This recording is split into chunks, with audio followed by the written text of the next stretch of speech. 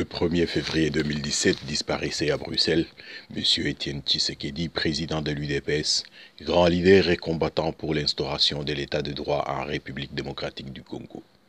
Des milliers de personnes se rendirent à Bruxelles pour lui rendre un dernier hommage. Une année après son décès, Étienne Tshisekedi n'a toujours pas eu droit à des funérailles, la chose la plus élémentaire dont tout être humain a droit après sa disparition. La raison de cela? Le refus d'un seul individu, auteur du hold-up électoral en 2011, qui se maintient illégalement à la tête de la République démocratique du Congo et qui craint que le retour du corps d'Étienne Tshisekedi puisse connaître un engouement populaire tel qu'il peut emporter comme une feuille le régime. Vous êtes congolais, ami du Congo ou ami des droits de l'homme?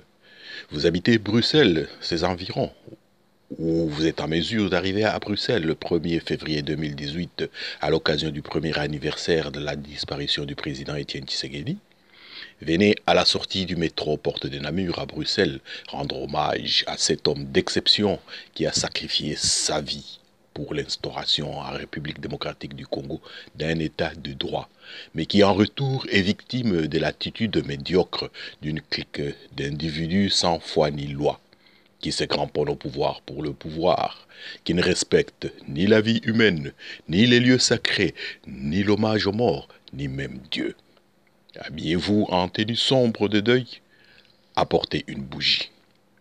Rendez-vous à Bruxelles à la sortie du métro Porte de Namur le jeudi 1er février 2018 de, de 16h à 18h pour non seulement rendre hommage à Étienne Tshisekedi, mais aussi montrer au monde entier qu'on est parmi ceux qui sont contre ce système barbare. Crier haut et fort contre l'imposture qui a pris en otage les 80 millions de Congolaises et Congolais. Soyons très très nombreux à cette cérémonie d'hommage.